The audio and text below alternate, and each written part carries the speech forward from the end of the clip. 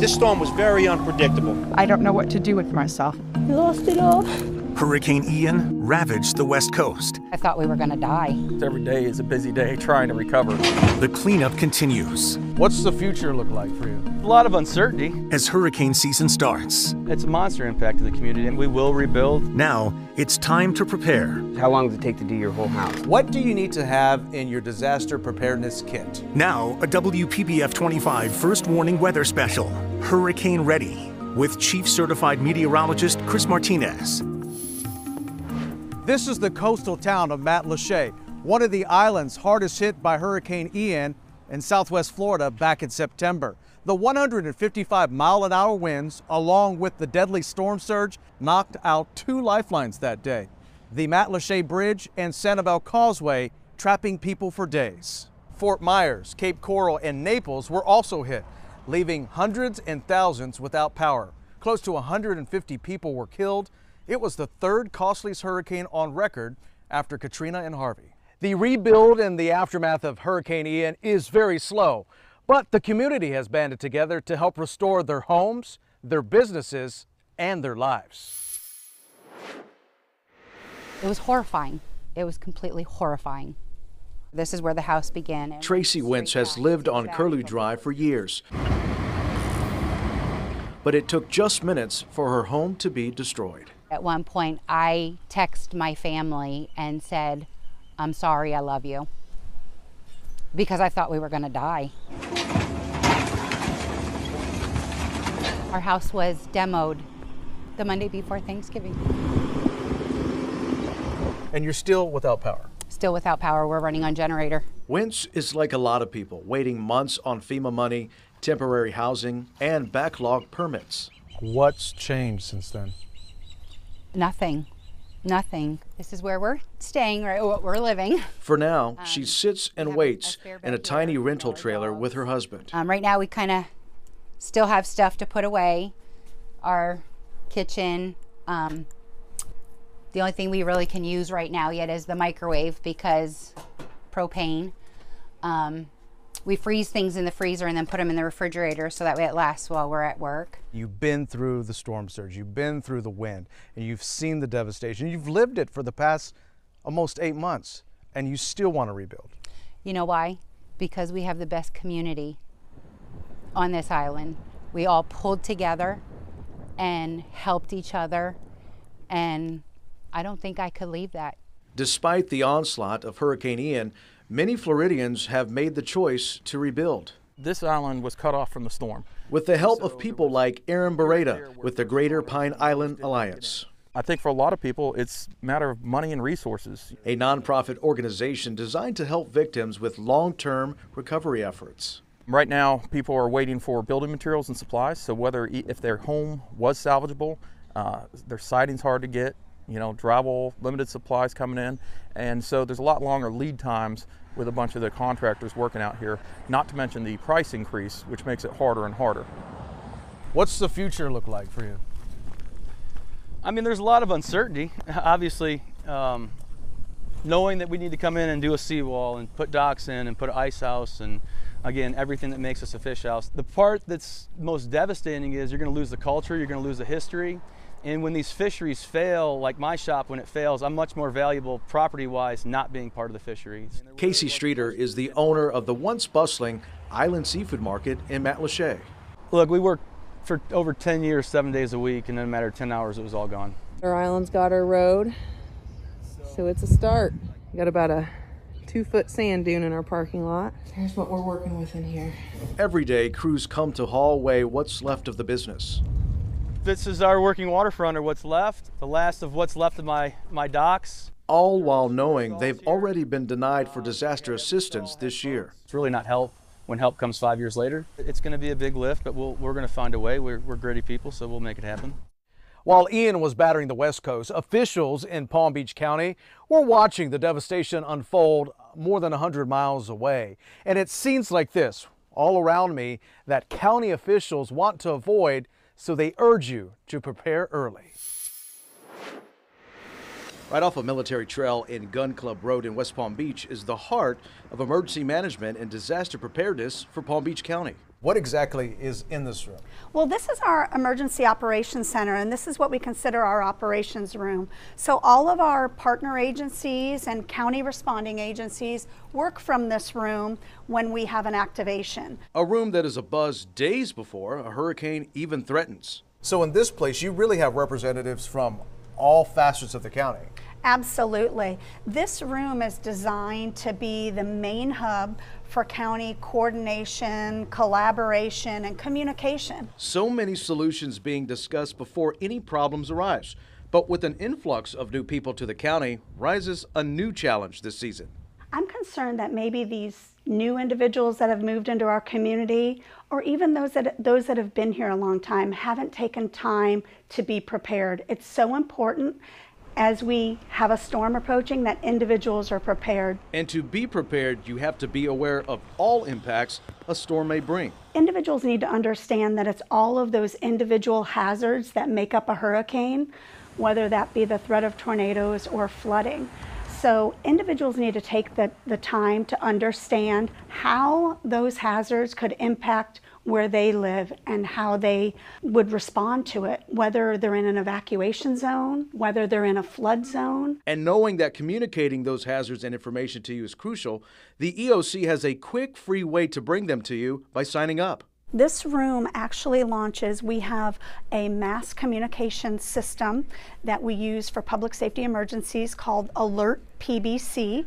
Individuals can go to alertpbc.com to register, and any public safety emergency that would impact you at your home or your place of business, whatever you register, um, that information comes directly out of this, this office here. Mary Blakeney also wants to stress it's not just hurricane season you need to get ready for. So when we tell people to get prepared now, it's not just for hurricane season, it's for year round, whatever may happen to you. Now is the time to be prepared. If everybody is prepared, the amount of stress and the ability to recover quickly um, is greater for our community. This is how you can find out if you're in an evacuation zone. Click on the Know Your Zone map, type in your address, and see if you're in a flood area. If you are in an evacuation zone, listen to orders from your local officials. You can find this map on WPBF.com. Getting your home prepared for a storm can feel overwhelming, but there are many things you can do right now before you have to take action. Meteorologist Glenn Glazer has a tour. I know this is about hurricane season, but there's something that people should know about for any time of year. When we have any kind of severe weather, it's super important to know which room in my house is the safest room in the house. Yeah, you, you should actually have an awareness of your actual home. This is the safest room in this particular house. So, Okay. what you want to look for um, in the event of an approaching storm or even a, a potential tornado warning Yeah. is you want to find the safest room in your house. And how you can identify the safest room in your house, you really want to focus on a room that has no exterior windows or walls. Right. So it just so happens that this restroom is in an interior portion of the house. Mm-hmm. Um, and, and this would be the safest room within this house, inside the envelope of the home. And in the event that you need to go in that safe room, you want to bring in all your supplies with you. Bring in some of your disaster supplies, bring in your portable radio. We also have ready to go all the time at my house. My kids have a little pillow and sleeping bag set. If you're going to be in there, you could be in there for a while. Look, the bathroom floor is not the most comfortable place to sleep, so you want to make sure that if you're going to be in there for hours, you're not going to come out of it with a lot of back and shoulder pain and things from sitting on a hard floor for hours and hours. Absolutely. And it might not be a bathroom in your home. Yeah. It could be somebody's closet, for example. Yes. So so check out your home. I can't help but notice as we walk around the property that all the trees are trimmed really well. I don't see loose palm fronds. I don't see any coconuts on these trees. You know what? I, I'm so glad you brought that up because people don't realize that it's they need to take some ownership of their property and and make those things safe on their property. Removing coconuts is a perfect example. Anything that's loose like that becomes a projectile in a storm. So if you can do that maintenance today and remove things like coconuts and dead palm fronds, it'll save you from potential damage. Since we have a small pool here, I just want to talk about this quickly because I've done a number of stories on pools. Uh, when a storm is approaching, obviously there's a lot of rainfall, you do want to drain your pool level a bit, but you don't want to empty the pool. And that's something that a lot of pool companies and pool builders have talked to me about because when you empty the pool, then there's no weight to the pool. There's no water weighing it down. And if water manages to get underneath the structure that is the pool when it's empty, that water can lift the pool right out of the ground, crack the concrete. I've seen that a bunch of times. Well, yeah, that's a big and, thing. and you know what? It has a great post-storm Yeah. resource for you Yeah. in water that you can utilize to flush toilets and do things that you may can use that pool water for. So Yep. it's a really important resource for you in a in a disaster. So I used to captain boats for a living, and I, I have done stories in the past about how to tie your boat up properly in case of a storm. But truth be told, the best way to take care of your boat during a storm is to take it out of the water. The boat is in the water today because it's a Mhm. beautiful, you know, summer day. You want to use your boat as much as possible, but they have their trailer here located right here on the side of their home. But this homeowner has taken extra measures to concrete in chains Wow. right next to their trailer on the front and the back of the trailer area so they can then strap down their trailer with the boat on it to ensure it the movement of this is minimal. What are some things you should do if you have a really nice whole house generator like this to make sure it's ready to go for hurricane season? Well, general maintenance is so important. You want to make sure that you're maintaining a system, although it's automatic and, and starts on its own, you need to make sure that the company is maintaining it or somebody's maintaining it. Mm-hmm.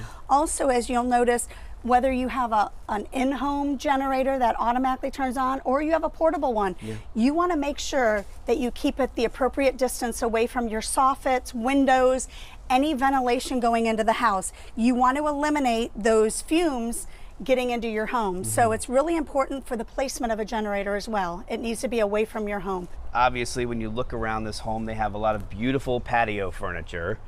It's best to move this inside somewhere when a storm is approaching. Correct. This homeowner actually clears out everything, whether it be chairs, barbecue grills. You want to put those indoors so they don't become projectiles in the, in, a, in the event of a storm.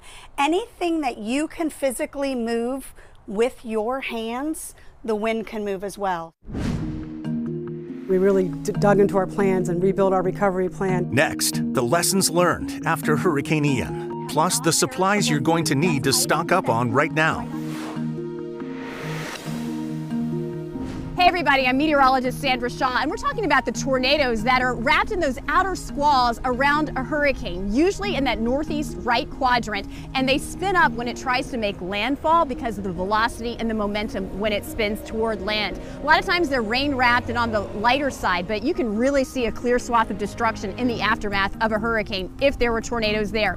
Perhaps you remember Irma, 46 tornado warnings in South Florida alone. We were on the wall the entire time we felt like, but for records, you go back to Hurricane Ivan in 2004, 120 tornadoes, 103 with Hurricane Frances back in 2004.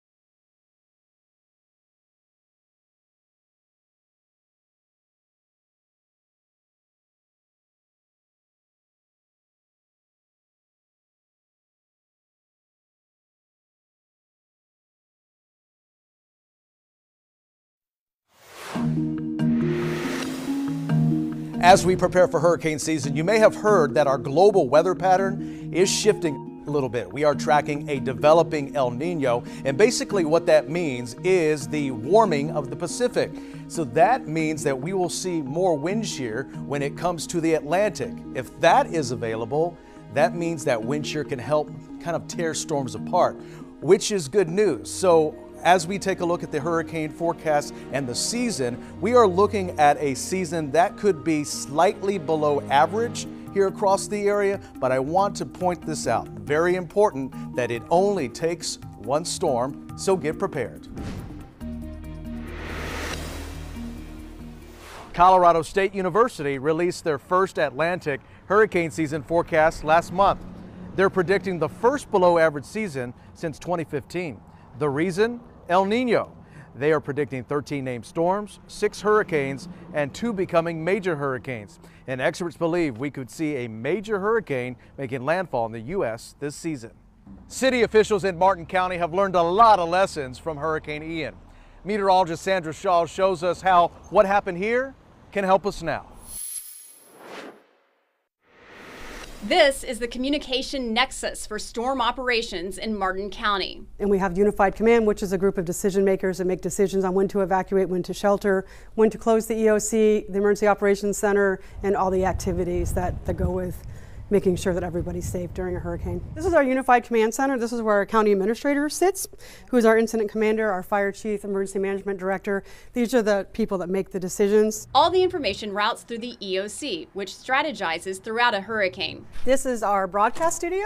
Mission number one get clear messaging to the public, many times through news conferences in their recently remodeled media room.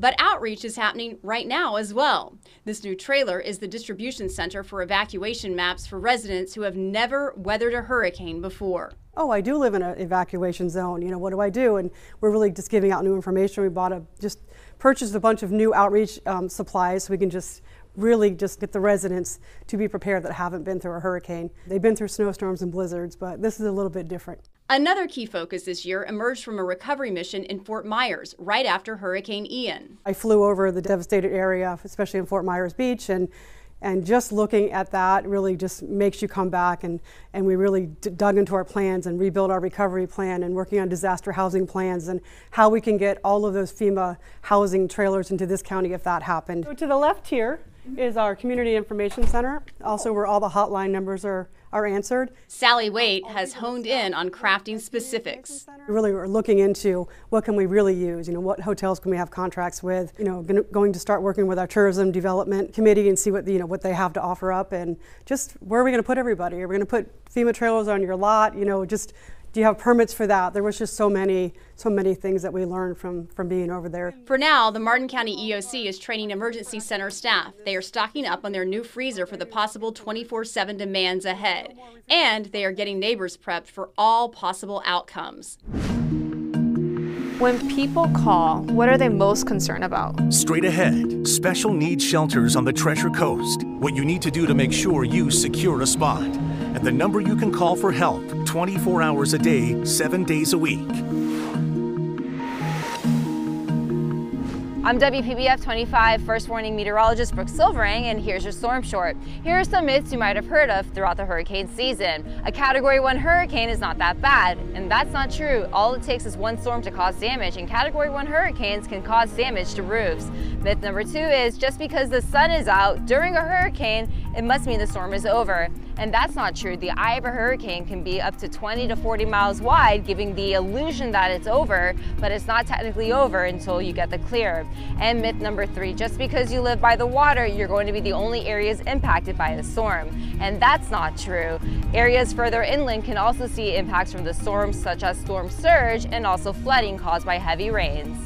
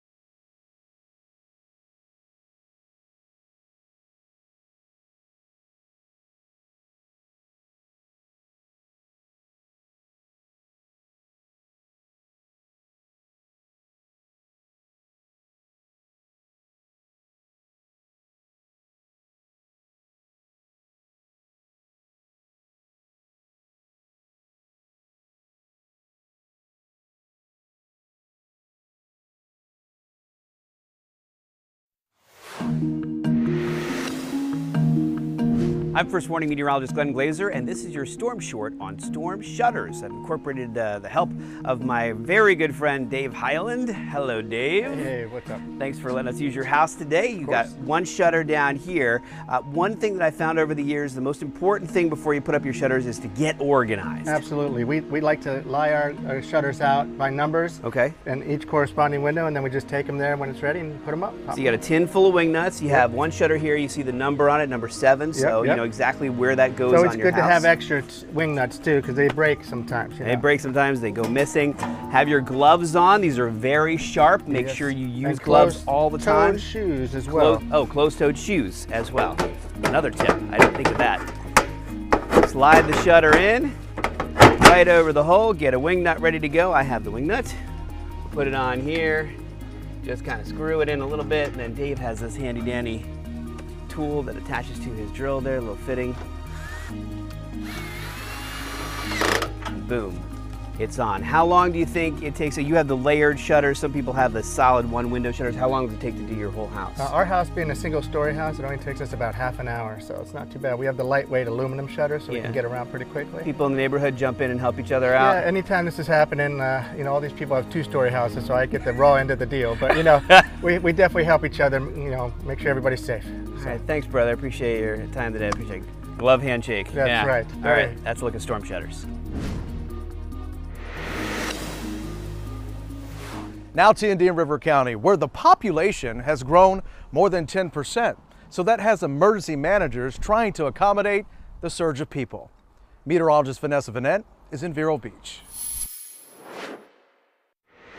This right here is the Indian River County Emergency Operations Center, and this is the main operations room that we use during activations for hurricanes and really any other local disaster. Emergency Management Coordinator Ryan Lloyd is always looking out for what the community may need. And that could include the needs to shelter, um, any sort of evacuation needs, um, and any sort of resources that we might need ahead of the storm that we need to get pre-positioned. When people call, what are they most concerned about? They're usually concerned about do I have to evacuate? Is it going to storm? Is the lights going to go out? And how long is the power going to be out? If you're new to Florida, you need to know if you live in a flood or storm surge zone area. This is a storm surge map. Um, our main areas of storm surge is anything east of US 1, and there's also low lying areas within the community. During a storm, damage isn't mostly caused by wind, it's by flooding. My role in this county is I'm in charge of various divisions, uh, one of which is the Emergency Management Division. Indian River Emergency Operations Service Director David Johnson wants to make sure people are prepared. Do the phones get flooded before or even more after the storm? Usually before, then they quiet down during the storm, then after the storm, they pick back up. The Emergency Information Center is where anyone can call with questions about any disaster we're facing. If you have questions or need to evacuate, pet friendly shelters are available. Special needs shelters will also be open and offer transportation. They can call the Emergency Operations Center here at 772 226 3900 and put their name on the list. Don't wait until a hurricane is headed your way to make a plan. I mean, look at this devastation. It's incomprehensible. If you ever find yourself in a situation like these folks here in Matlacha, the best number to call is 211. The specially trained staff can answer your hurricane questions and direct you to the right people. 211 services are offered in all five of our counties, and they also offer mental health services. We'll have as many as 100 people in here. Coming up, emergency operations on a whole new level, and what to do with your beloved pets during a storm. Here with Mary Blakeney with the Palm Beach County Emergency Management's Office. What do you need to have in your disaster preparedness kit? You should have a three to five day supply of items within your disaster supply kit. You want to have personal hygiene items, including any prescription medication. You want to have non perishable food. That's items that you can pull right out of your pantry and eat right out of the can if necessary. Remember, remember a can opener And how many days of food? Three to five days supply. You want to have paper products. That way you don't have to worry about doing any type of dishes. You should have a supply of cash on hand. medical information as well as emergency contacts. When it comes to drinking water, you want to have one gallon per person per day. Again, three to five days. Don't forget the infants and children and the pets. And you want to also have a supply of activities for the children to have available. And everything you have in your kit should be battery operated. No candles. You want to have everything battery operated. So you can buy battery operated candles, extra batteries, a battery operated um, radio, and then some basic tools in the event you may need to do a last minute repair in your home.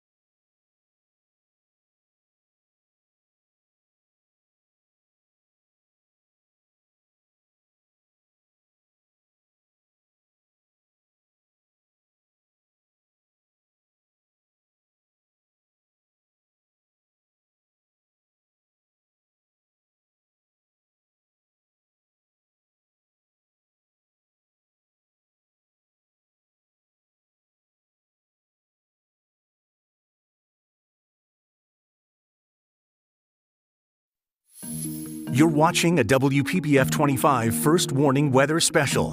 Hurricane Ready.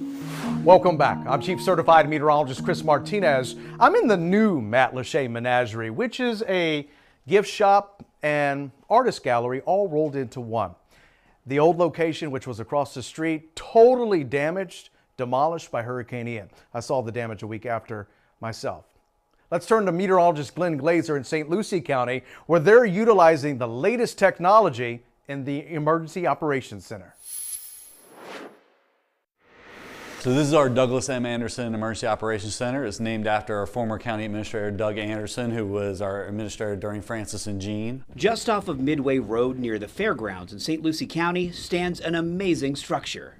Our old EOC didn't have sleeping quarters or showers or bunks, so this has all that and more. It's the St. Lucie County Emergency Operations Center, and it's from here that the county orchestrates everything to keep its residents safe during hurricane season. This is our media press room. Oh, this is a room I think a lot of people are familiar with when seen- they watch TV during correct. storms. Yeah. They, they've probably seen the county administrator, chief of police, the sheriff all uh, speak from the podium here and give our messages. Some of these rooms may look familiar to you from watching TV during past storms, and some of them, like the Operations Center itself, you may not have ever seen before. which is where you know we'll have as many as 100 people in here from the utility agencies, um, state, our health department, our volunteers, our PIOs, law enforcement agencies will all be in here. And there are a lot of maps. Basically, where our shelters, our uh, staging areas, points of distribution, evacuation routes. So it's kind of a comprehensive county map. But there are some things that can't be done from here. They are things that you have to do yourself to keep your loved ones safe, like having a plan. What I mean by plan is making sure you know if you have to evacuate, where are you guys going to evacuate? Uh, make sure that we know, that the, the family knows what kind of items are going to be needed for a emergency kit.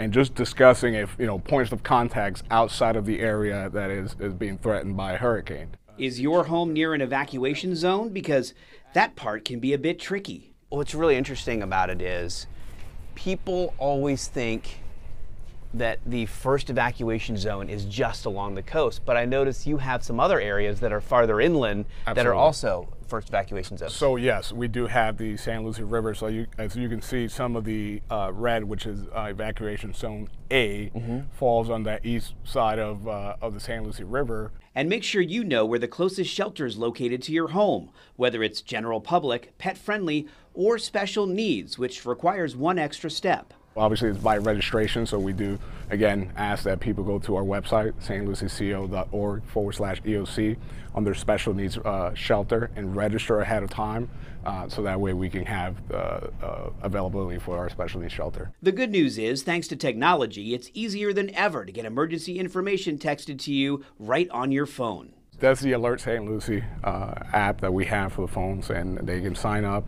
And obviously, if there's any weather alerts, any type of emergency notification that uh, the Public Safety Department of the county has to uh, relay to our residents, we use that application to uh, let them know. For more St. Lucie County information, be sure to download the Disaster Preparedness Guide from the county website because It's never too early to prepare for hurricane season. It's something that must be done every every chance that you get.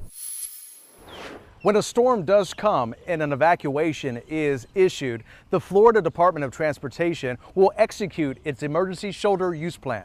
Drivers would be allowed to use the shoulder lanes on I-95 between Jupiter and Jacksonville, the turnpike between Hypoluxo to Osceola Parkway in Kissimmee, and I-75 between Broward to Collier counties. All drivers except trailers, buses, and large trucks can use the shoulders. In the chaos, people will try to cash in on a natural disaster.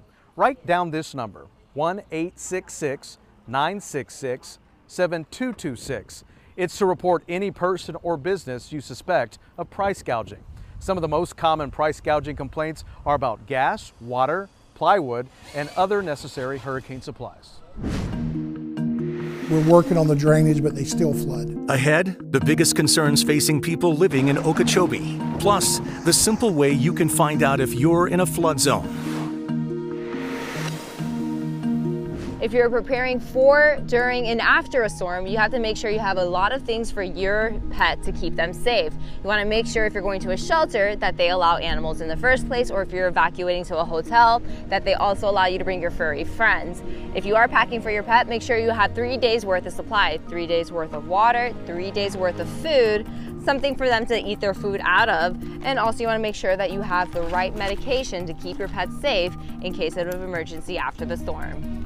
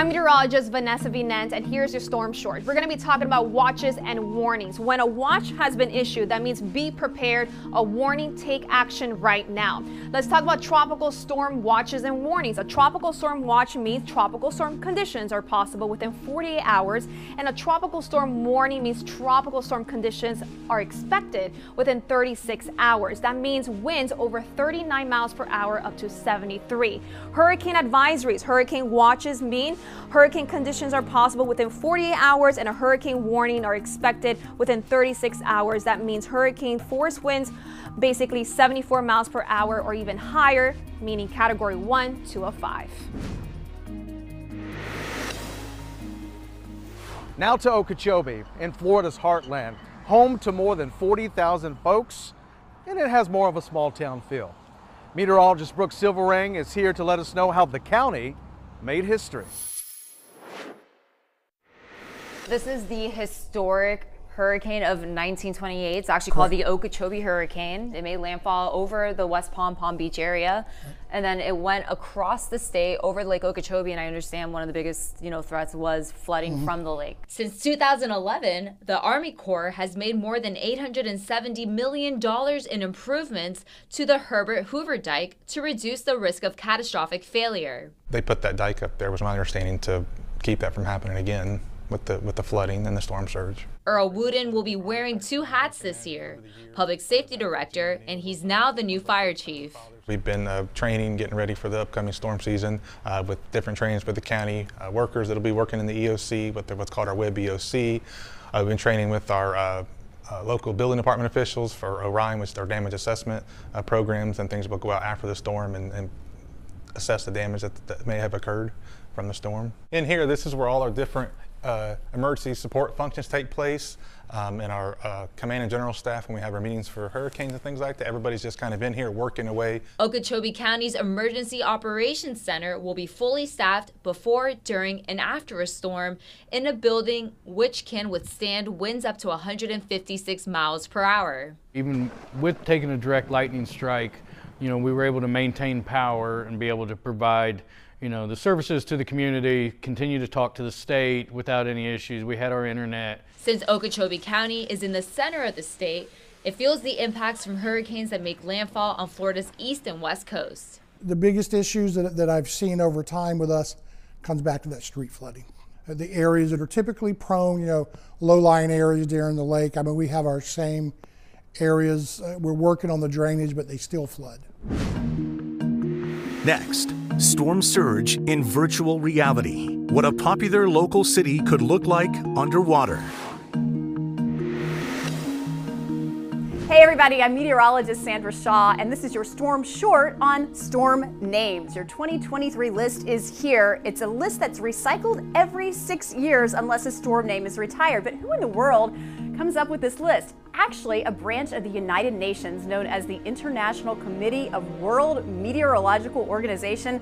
At least it's easier to say these names than that. But I can tell you that they have been doing this since 1953. It's an alphabetical order. You have a male name and a female name, and then it rotates. Interesting to note that a study was done on this about 10 years ago, and the most destructive storms were the female names, but yet the most feared storms were the male names.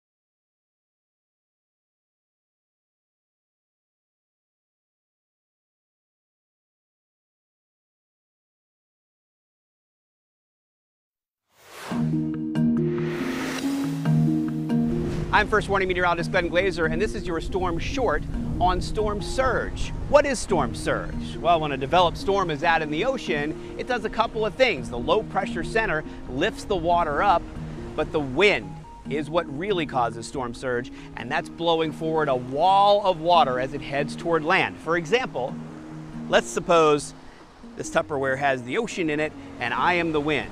As it blows forward, the water piles up. Now, let's suppose I'm standing at high tide here on the beach. That means where I'm standing is exactly where the water comes to at high tide. Now, let's suppose there's a four foot storm surge. This ladder is four feet tall, so in the same spot where I was just standing at high tide, the water would be up to here on me. How about an eight foot storm surge? Well, let's take our tape measure and see. The ladder is four feet. Let's go another four feet. Look at that. The top of the tape measure that's an eight foot storm surge. Imagine how far inland that water would go. This map of Florida from the National Hurricane Center shows it's not just a beachfront problem. The risk extends miles inland from the immediate coastline in some areas. You can check your risk by going to our website, WPBF.com. And the city of West Palm Beach is taking the storm surge threat a step further. Meteorologist Brooke Silverang shows us what a wall of water could look like in virtual reality. I'm meteorologist Brooke Silverang, and I'm standing here in Osprey Park. This is one of the areas highlighted by Florida Atlantic University and Virtual Planet to show what could happen if a hurricane were to make landfall in this area. The simulation focuses on city parks in the historic Northwood neighborhood. This is all because of sea level rise, king tides, and the effects of water being pushed on shore from a hurricane. The project was designed for developers to plan ahead or even come up with solutions to prevent what could happen from actually happening. Some solutions would be to make higher seawalls or by creating more man-made islands that act like a buffer against storm surge. I'm meteorologist Vanessa Vinent, and here is your storm short about rapid intensification. So what is rapid intensification? That basically means when a hurricane is moving over the very warm waters with very low wind shear, that means the environment is very favorable. It will get stronger, sustain winds anywhere between 35 miles per hour, even higher within a 24 hour period. So it could go from a category one hurricane to a three or even a category three hurricane to a five in just one day. So that will lead to high storm surge, stronger winds, lots of rain, and also the catastrophic flooding in certain areas.